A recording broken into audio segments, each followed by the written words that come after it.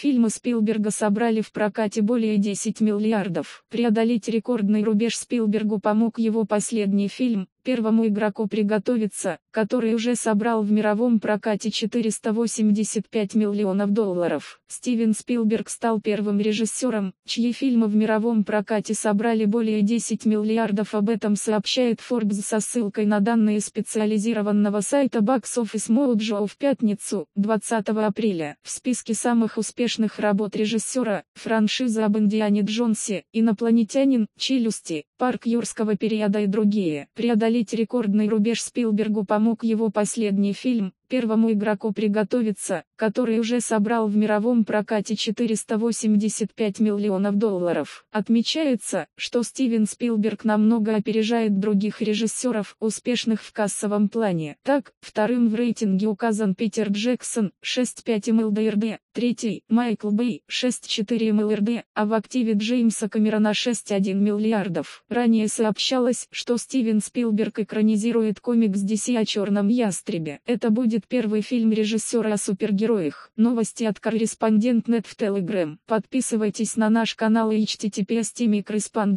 По материалам сайта Newsgro.com.